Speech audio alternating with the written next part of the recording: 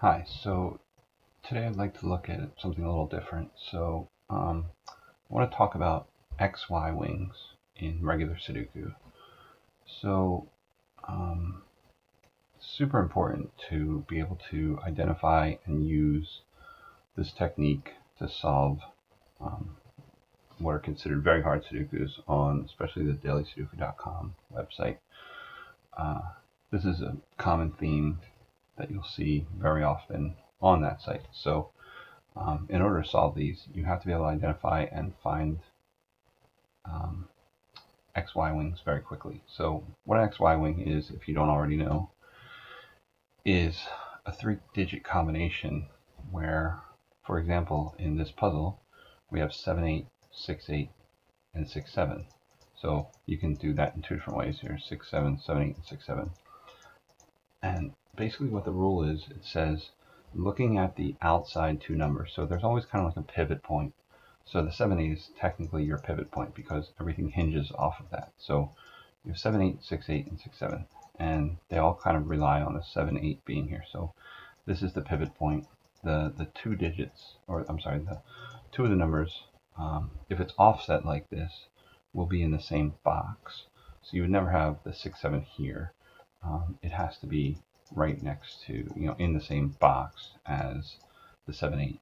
The other number can be well outside, but on the same column or row, depending on how the thing goes. And what we'll do is we'll look at a bunch of different examples of how this works, and you can look for them yourself. So in this first example, um, the 6, 7, 7, 8, and 6, 8 means that, uh, so once again, the rule is when you have the three boxes, the outside two numbers that are the same, meaning the sixes in this point, can't be um, used in any of the boxes that intersect with those two items. So intersecting meaning this 6, 7 here. Um, we'll actually see some examples a little bit later of ones that go outside of, you know, have a little bit more extension than this. But for this example, um, the sixes are both used here. So this cannot be a 6. So this number is always going to be a 7, which is what allows you to solve this whole puzzle. So, um, so yeah, so this is essentially the key to solving this Sudoku. I'm using autofill. Um, I don't normally use that, but I just wanted to show you that this um, totally solves this entire puzzle. Before that, sorry, um, this puzzle is considered you know, super hard. Um, but when, once you understand the technique of solving the, the XY wing, you should be able to solve these very easily. So, um, so now we're going to do second example. And what I want you to do is basically pause the video and say, hey, where's the XY wing in this puzzle?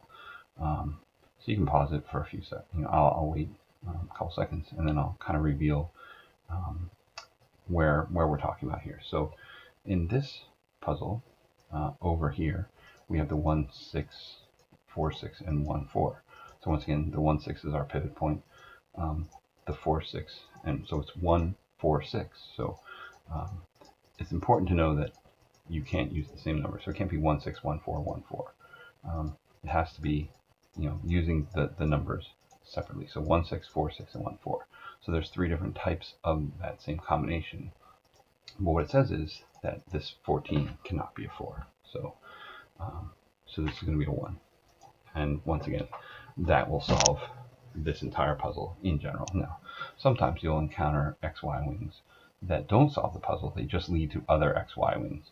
Um, I don't think we're going to do any of those examples in this series here, but maybe at a later time we'll, we'll show that. And when I do my super hard Sudokus, um, you know, I'll say, hey, here's an XY wing. And basically that's what it means. So you need to be able to quickly identify these um, in a very hard Sudoku and understand the rules behind them. So moving on to another example. So once again, there's an XY wing here. So you can pause the video and try to find the XY wing.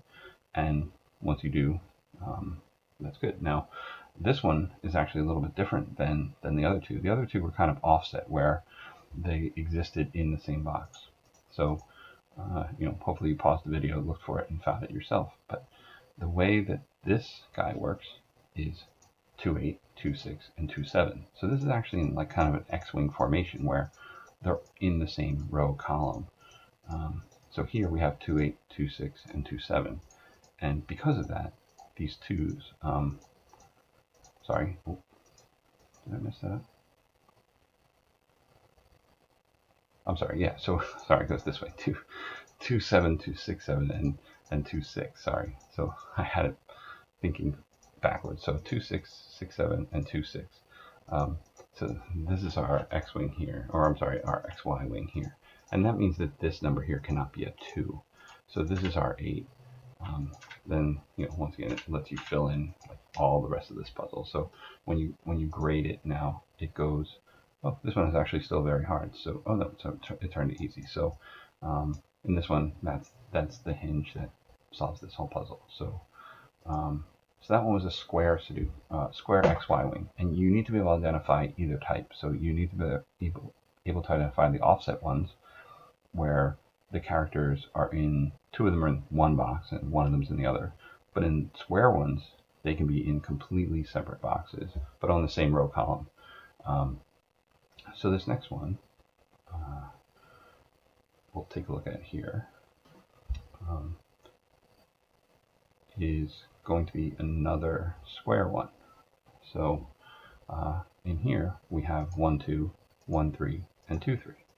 So, you know, this now says that neither of these, both of these boxes are 3. So the intersection point, meaning other corner of the square, cannot be that number.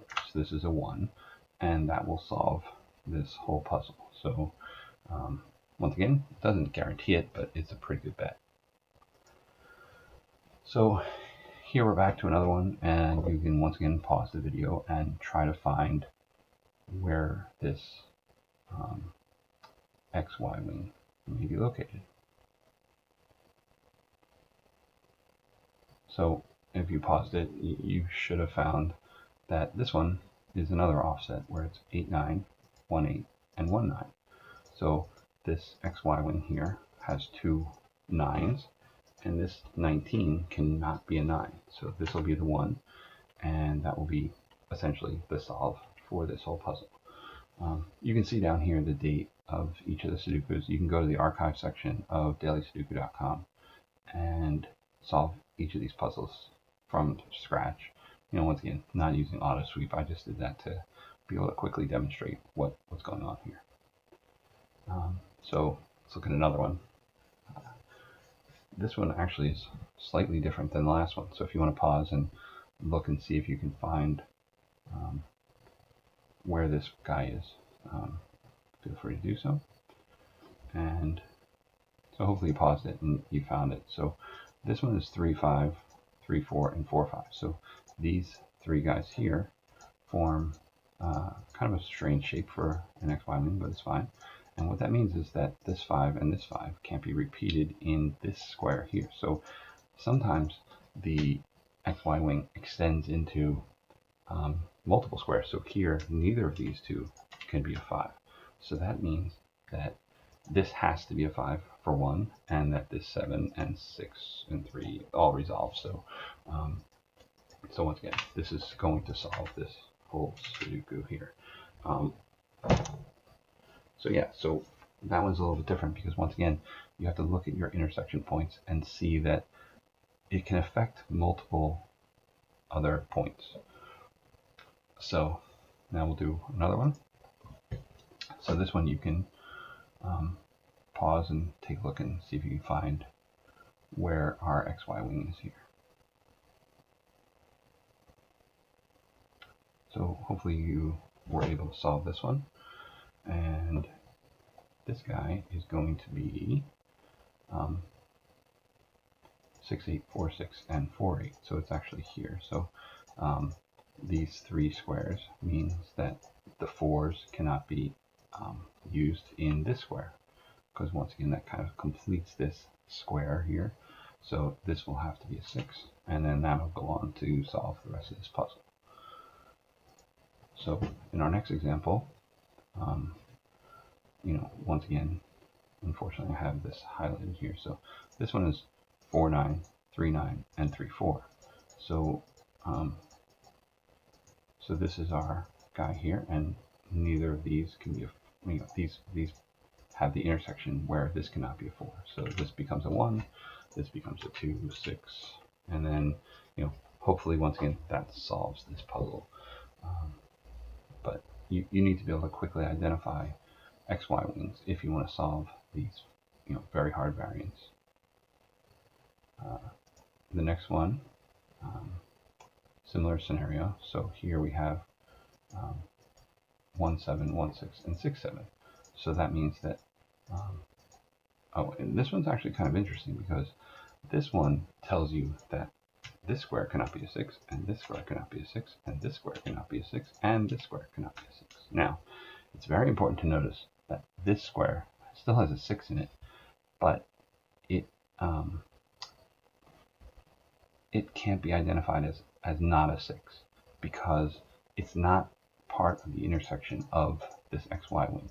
It's just in this one column. So just because it's in this column doesn't mean that it intersects. It has to touch both the 16 where the 16 lasers, you know, x-rays into it, and the 6 also hits it. So, um, for example, this 6 is not identified, but you know, these two were, and these two were, because of the xy wing. So once again, super important to be able to identify which are legal squares to remove and which are not. So, um, so once again, you can work this puzzle out more if you want to see how it solves. But we're not going to get into that. We, we just want to be able to find the xy wing and resolve its points. Uh, so this final one, um, there's actually two separate xy wings in the same puzzle here. So we have, it's um, 479, so you can see there's 479 here. Uh, but there's also a 479 here.